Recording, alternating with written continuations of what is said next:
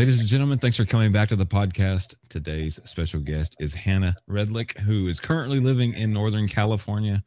Hannah, good to have you on. Oh, thanks so much for having me. Absolutely. I have seen a number of your, I'm going to call them vignettes, Irish dancing vignettes that's been on Facebook. I've seen them on social media. I've seen them on YouTube.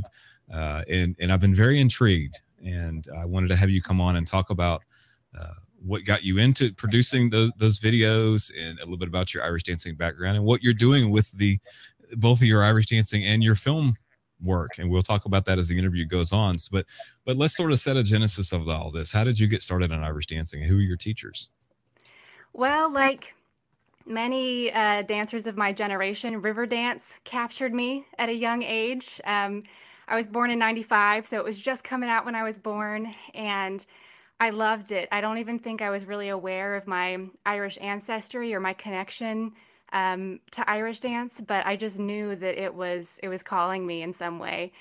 And my parents, not knowing that that was even something you could learn in the U.S., you know, um, enrolled me in some some tap and ballet classes at our local YMCA, hoping that that might appease me, but it didn't. I can distinctly remember being in a ballet class thinking, this isn't Riverdance. um, but one St. Patrick's Day, we were at an event downtown in Charlotte, North Carolina, and there was a parade going on, and this beautiful team of dancers came leaping through the parade. And that was Sandra Connick School. I studied under Sandra Connick. At the time I was enrolled, it was called Rincon a Heron. Um, and I studied there for my entire time dancing for, that was when I was seven or eight. Uh, so I've been Irish dancing now for over 20 years, which is kind of hard to admit. okay. And, and so how did you make the transition from uh, that part of America over to the, over to the West Coast? Well, Irish dancing is kind of indirectly involved. Um, some of my my videos were noticed by bands, and so my sister and I were invited to perform with a band called Judah and the Lion in Nashville, Tennessee. And while I was there, I befriended another band um, and kind of got connected to them through social media. And that led me to an internship out in LA um, for a company that was looking for videographers. And the reason that they wanted me is because they saw my dance videos on YouTube. So it's all Irish dancing has always been kind of intertwined with my filmmaking and my career and has really led me a lot of places. Okay. So so going back to your your days dancing with Sandra over then um the east coast of, of america talk about some of the experiences that you had maybe some memories that, that you carry with you to this day as far as like you know classroom memories or performances or competitions and how involved you got in all that yeah, um, you know, I think one thing that really stands out to me about the school I was a part of, and something I become much more appreciative of as I get older, is just how supported I felt the entire time I was at that school. Um, so I did compete. I competed for about 10 years, and I was really supported through my competition years. Um, but, you know, I Feises are a huge financial investment um, and time investment. And so we didn't always have the capability to invest as much financially as some other families did. And I just remember how supported I was through that, you know, through scholarships or through getting to borrow dresses or never never feeling pressured to buy dresses or um, you know, they supported me in where I wanted to invest my time and my efforts. And later on in my career, I kind of decided that competition wasn't what I wanted to do anymore. And I really found a love for performance.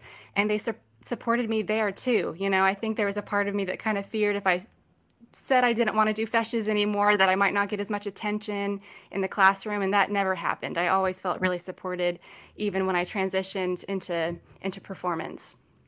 I can see that. I can see where uh, I hate to say it, but the female dancers have a, a, much more difficult time than us guys. You know, when I was competing back, I was competing right after you started, like in the late 90s through maybe the mid 2000s. And we would go put on our Sunday best, you know, some slacks and a dress shirt and a tie, maybe a vest. You know, the vest came in style later. And that was it. And I always looked at the, you know the ladies over there and the young ladies and the adults et cetera that were buying all these expensive dresses and i thought we really do have it pretty good compared to what you guys had to go through uh, and and that the cost can be is even today people talk about how prohibitive it how prohibitive it can be uh, to Irish dancers. So it's good that, that, you were still able to to participate and uh, be worked into that and enjoy that part of Irish dancing. Yes. Mm-hmm. Yeah, I feel so so fortunate with the the school that we found, um, and yeah, I, I think you know if if I really wanted to be a world champion and I would have gone to my parents and was like, this is what I want to do full time. I'm sure my, my family would have found a way to make that work. But I really had other interests in Irish dance. And so it wasn't necessarily important to me to participate in in the pageantry of it. right. Um, and so I I do feel really fortunate that, you know, I never felt pressured to do that. Okay. Now, speaking of, of experiences you had both in competition and outside of it, what were some of the highlights maybe of, of your competitive career and also your highlights of, of the performances you started getting involved with over there at the school? Yeah. Um, so I did, I competed until I got into Open Champion. And I think that that's really, you know, even though now I really find a passion for, for performance, I'm so thankful for my competitive years. I really felt like that accelerated my dancing and really um, made me the dancer that I am today. And so I have so many memories. You know, our school had a great community environment. I remember all of the girls that were in my age group that I would compete with, we were all friends and we all got along really well and we all supported each other when one of us placed really well. And, you know, I don't want to take that for granted because I know that sometimes that family community environment isn't present in a competitive atmosphere. And so I love that, you know, I have great memories of being at Feis's with my friends and um, you know our, our eight hand teams we we were a big céilí school. We loved doing the céilí dances. And so I have some really great great memories of the friendships that we forged through through competitive Irish dance. Um, and then you know really sparked my interest in performance was actually a show called Enduring Love that I was a part of. Um, and our school participated in in a in a show and that was I was probably about 15 or 16 and that was the first time I'd ever performed on stage and I just immediately recognized that that was my calling. That's what I love doing. I'm a very creative person and so I loved working on choreography and telling a story through dance and I hadn't really had the chance to do that in the competitive sphere. You know, there's less less opportunity for kind of your own artistry and expression um, in the competitive sphere besides things like treble reel competitions or dance dramas or things like that and that was never really the focus of my my competition so that just awakened me to a whole new arena of what irish dance can be and i immediately fell in love with it okay so you were talking about performing. You talked about a calling. Would you would you say that there's an element of of maybe personal belief and faith intertwined with your dancing and giving you that purpose to uh, perform and entertain, not just entertain, but enriching people who are, are looking at you exude the talents that you clearly have?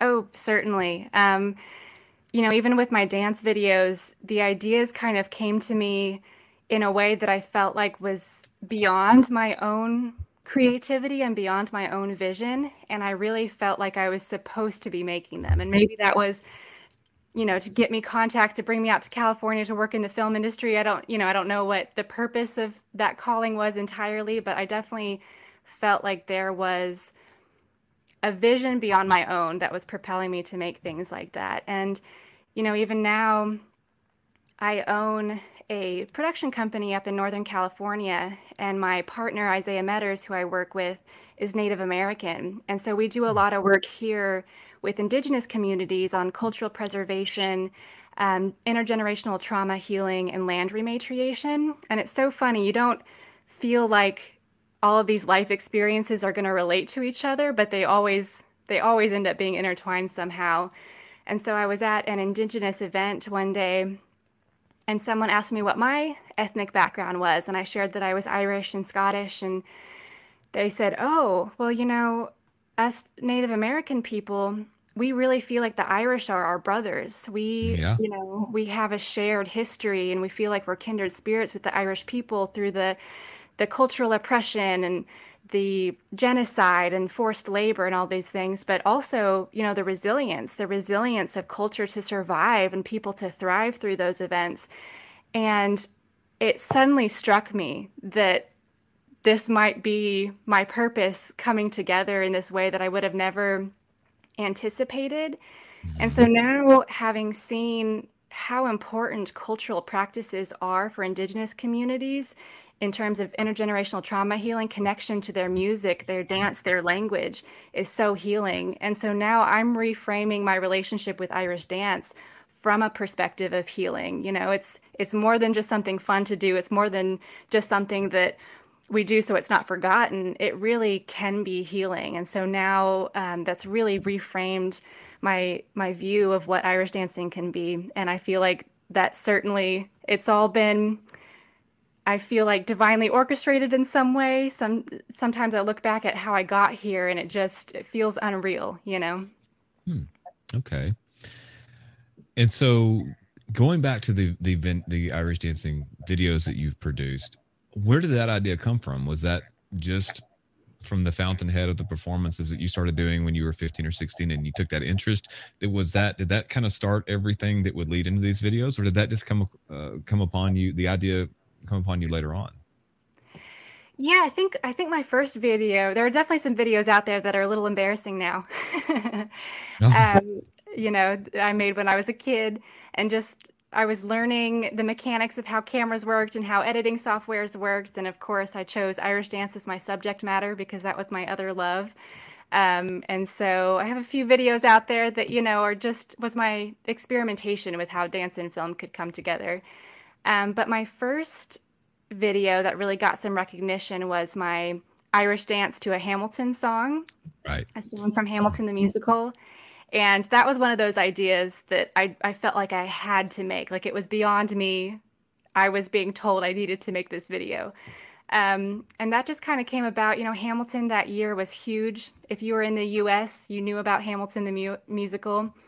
And I remember I was carpooling to dance practice in my friend's car, and she's like, "Have you heard this? They're telling the the history of America um, through rap and hip hop." And you know, one of the things I think I relate to most in Irish dancing is the percussive element. Mm-hmm. So when I'm hearing a song that's inspiring to me that I really enjoy, I'm hearing the beats in my head. I'm hearing which beats I might accentuate, um, or which ones I would mimic, or which one, you know, where I would maybe fill in beats and um, so I was listening to the Hamilton soundtrack, and I could just I could hear it in that song, in that Guns and Ship song. I could hear what I wanted my feet to do. Um, so I called up my friend. I performed at a, a venue called Latta Plantation, which is a historical site in North Carolina. And I said, "Hey, I have this idea. Um, would you mind if I just like threw down a dance board outside one of the colonial buildings and and made this video and he's like i'll let you inside of one. And um, so that's how that was born and, that made it the video a hundred times better. So um, i appreciate him letting me do some damage to their floors. Yeah i was wondering about that. I didn't know the setting. I didn't you know you wouldn't know that looking from the outside what kind of building or, or house it could be and it could be in an old you know early 20th century tea shop with that wood floor like that. But it, that's really neat that you were able to go into a building like that, and they would let you, as you say, uh, do a little damage to the floor for the purpose of of the arts. So uh, that's very good. Now, how long did a video like that take for you to produce? Yeah, so it it took a few weeks of choreography. I remember uh, teaching a dance workshop, and then at the end of it, I stayed a little later in the studio and was working through some of the choreography. Um, and then we shot it in one day. I, I really enjoy storyboarding and making sure everything's planned out so that when you're in the stress of a, a film shoot, it can be done relatively cleanly. Um, so we shot it in an afternoon and then I edited it in a few days. Um, and I remember feeling like I needed to get it out quickly. I was thinking, surely someone else is thinking of this. I got to get this out. Someone else is going to do it before I can. Um, so I I shot it and I wanted to reshoot it. Actually, I wasn't 100% satisfied with it. Um, but I decided I just needed to get it out there and stop being such a perfectionist. So I I released it, and um, I was so so excited about all the support it got. Hmm. Okay. Now you talk about wanting to redo parts of it with any video, not just that video. What do you find are, are most of the things that you want to redo in, in videos that you've shot? Is it just changing the angles, or is it the audio wasn't good, or what? Did, what do you think about that? Yeah, it always feels like filming is such a whirlwind. You're always on a time constraint, whether it's lighting, the sun's going down, whatever. Um, and so sometimes you're just kind of forced to rush through things. Um, and I also, you know, one of the things I really love with my videos is finding unique and visually stimulating locations, but those aren't always the best dance environments. so one video I'm dancing on some rocks and um, other, you know, usually my board's on some kind of unlevel platform. And so sometimes I'm like, oh, if I would have just had a flat surface, I might have done this a little better, you know. So there's just always things that you become kind of hypercritical of yourself. Um, but you know i think one thing that i really love about my videos too is that i try to construct some kind of story and so sometimes the culmination of, of the dancing and the story and the cinematography hopefully all comes together and those little things that you know stick out so much to me as as the editor might not stick out to other people. Okay. Now going back and looking at some of the videos when i was prepping for the interview you haven't made some in a while is that correct? That's correct. I when i got out to california i lost my team. My my dad and my mom and my sister were all the ones who would go out and help me film. Okay. and you know got distracted with work and um, then launched my own company with my partner. And so things have gotten busy but you know it's funny that you you reached out to me when you did because i just had started the choreography phase of a new project that i'm i'm hoping to film soon. So it's it's calling me back. What is it about the the performance and the dancing that's calling you back? Yeah i think that it's it's part of my cultural identity. There's still part of me that hears a fiddle um, and just gets excited about it. You know, it just kind of wakes something up in me. And of course, dancing is an expression of that music. And so it's, you know, I, I connected with some local musicians here in Northern California. There's definitely not as large of a Irish community in California, but the people who are involved in it are very involved and very passionate about it. And so I was able to connect with some other um, people who share a love of Irish culture, and that reawakened something for me. And I think, um, as I was expressing earlier, learning that about the native indigenous community here and wanting to assist them in telling their cultural stories has really reawakened um, an interest in my cultural heritage. And so I think just a culmination of, of all of those things have come together. And, you know, with the pandemic, I, I took a, I would still dance here and there, try to not lose my shape entirely you know, but it was enough time for me to miss it. And so I'm excited to be coming back to it. Well, uh, when will that video drop, do you think? uh, my goal, my goal is to have it before St. Patrick's Day. That's always a good goal for Irish dance videos. okay. Well, that's good. Will that be released on on YouTube or, or, some of your other all of your other social media channels? Yes. Yeah. Mm-hmm. Okay. Very good. Well, I look forward to to seeing that video when it comes out. And um, can you give us any hints on what the themes are, or no? Or is that top secret?